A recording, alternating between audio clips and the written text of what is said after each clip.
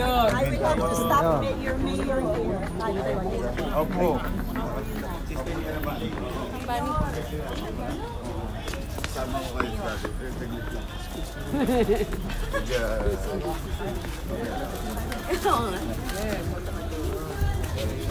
But they can help you in Manila, right? And then for whatever else. Sa Manila. Oh, Manila, Manila. Ganun lang. Morning, Mayor. Just don't miss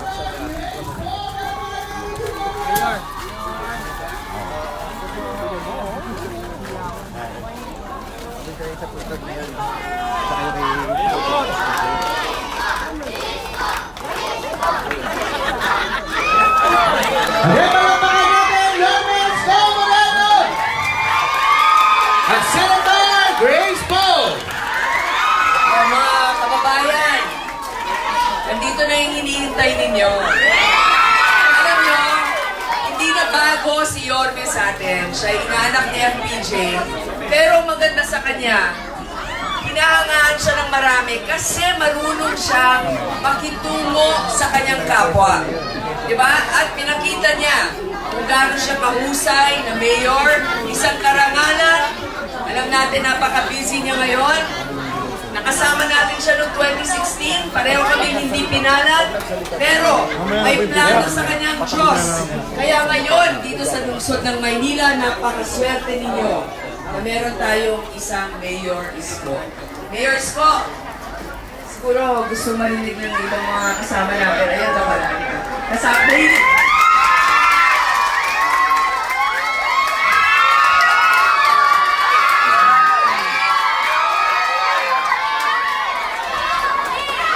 morning.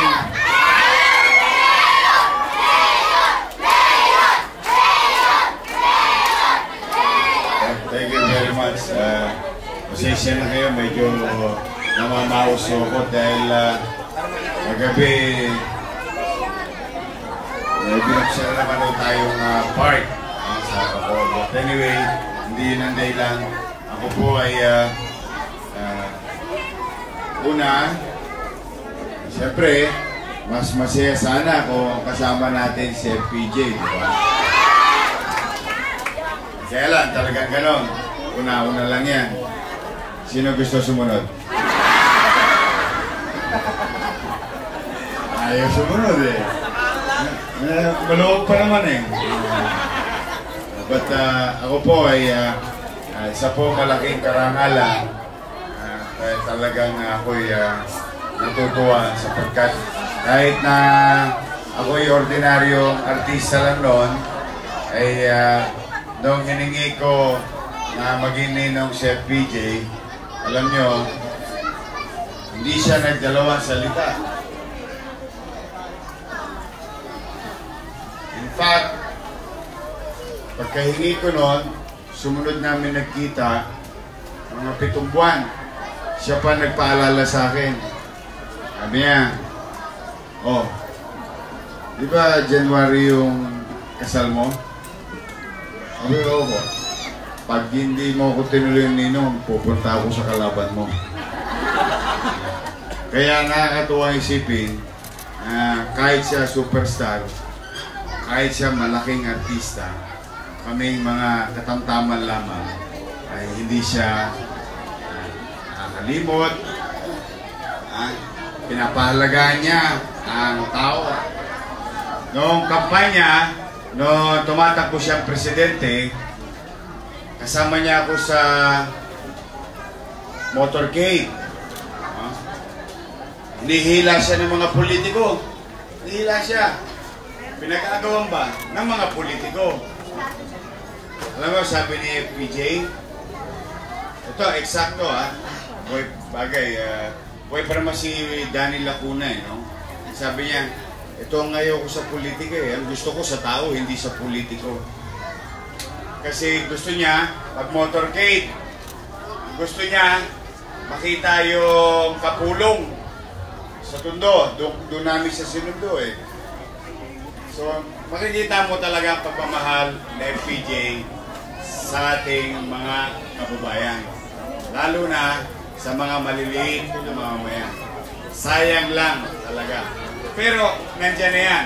Ngayon, pinapaalala niya sa atin through sa, sa kanyang anak na si Crispo na patuloy natin mahalin ang ating mga kapwa lalo na ang mga maliliit nating kababayan.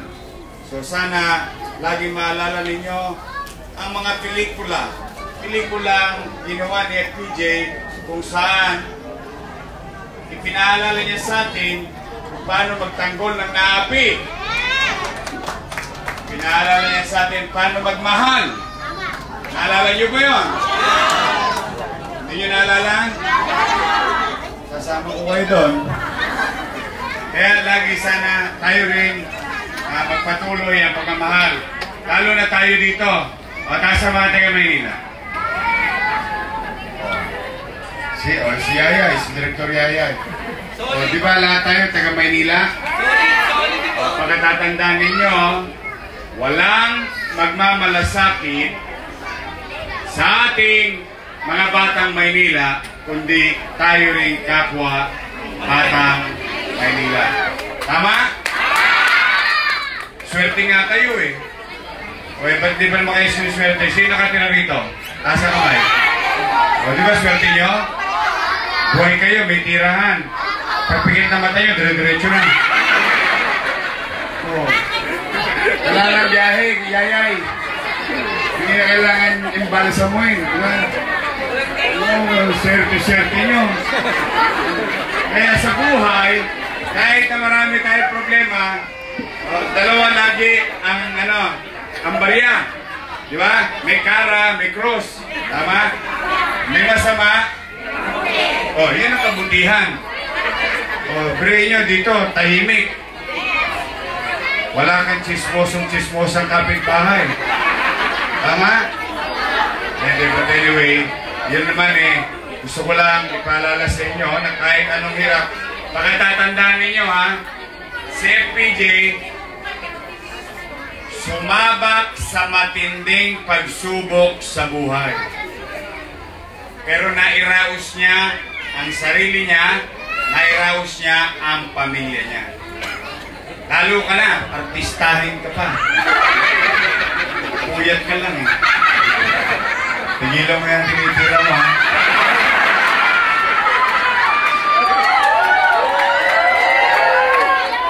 Pero sa awa ng Diyos, sa awa ng Diyos, kayo ba nawawala na ng pag-asa? Hindi! Dapat lang. Sa awa ng Diyos, makararaos din tayo. Tayo mga taga Maynila at ang lungsod ng Maynila. So muli sa inyo lahat, sa palakpakan po natin ang magandang senadora, ang anak ng paborito natin, Senador Grace Paul.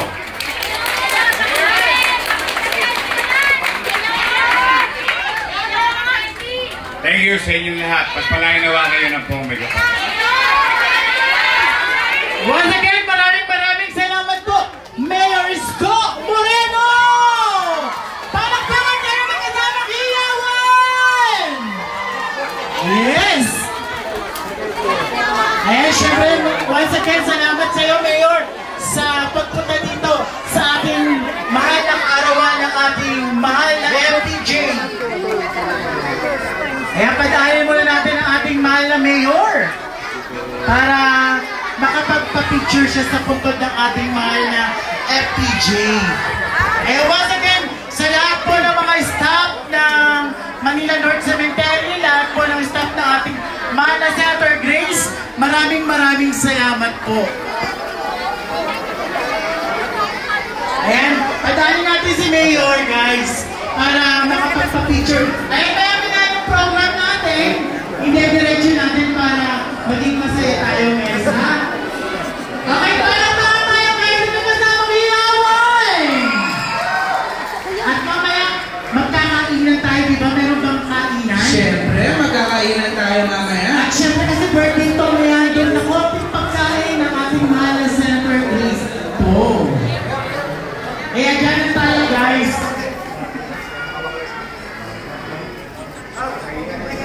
Maraming salamat, Pinky. Maraming salamat, Manila North. Palakpakan natin si FPJ.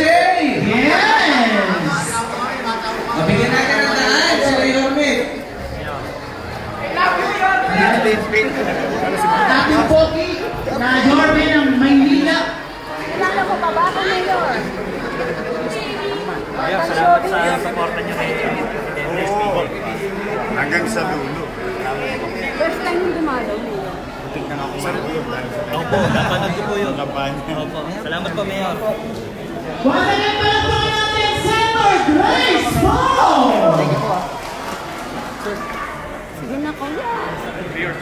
Mamaya na yan, busy pa tayo. At syempre ang ating Yorme, ang Batang Manila, Mayor Scott Moreno! Maraming salamat. Pinky, dapat kung makaalis tayo, magbubukaan ng salita sa Yes! Baka sabihin mo May selfie tayo with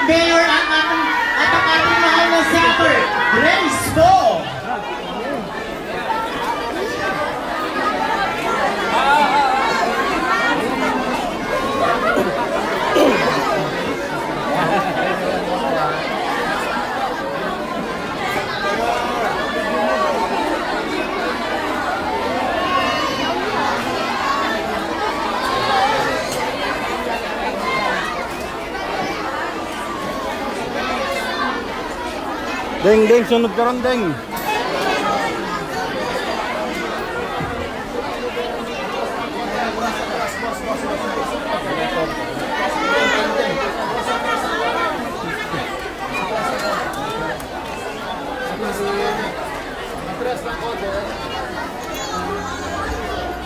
Boss, atras na konti.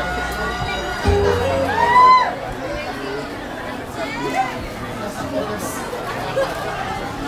again, palakpakan natin ang ating mahal na Senator Grace Po at ang ating Yorme, Mayor Scott Moreno! Palakpakan po natin sila. Maraming maraming salamat. Salamat po, Ate Girlie. Hello po. Balik tayo sa regular programming, Vicky. Yes, okay. Asan na yung sampung bata? Tara, go! Salamat po, Yorme. O, yung sampu na kanina, ha? Yung kasama Yung, yung lima lang. Saka limang babae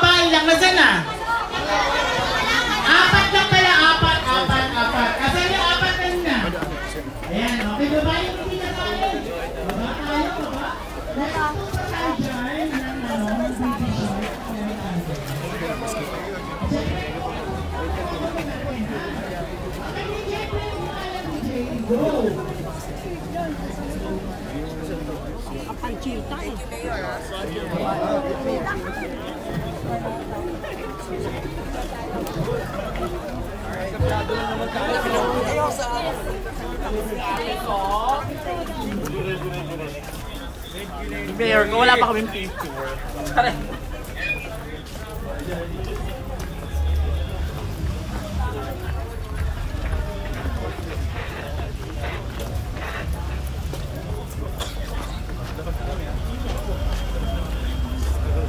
Yung break, para ba maikaw?